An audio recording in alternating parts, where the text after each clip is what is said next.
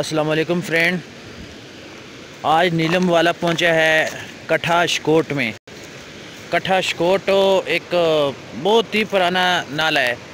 तो सदियों पुराना है। यहाँ पर ये नज़र आ रहा ना आपको ये खंडरात यहाँ पर ये ए, मक्की के आटे की फैक्ट्री हुआ करती थी किसी ज़माने में।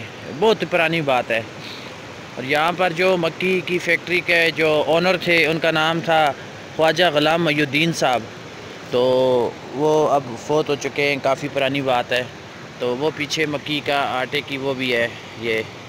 यहाँ इसके अंदर मकई डाली जाती थी और यहाँ इसके ऊपर ये ये ये नीचे आपको नज़र आ रहा ना, ये ये पत्थर।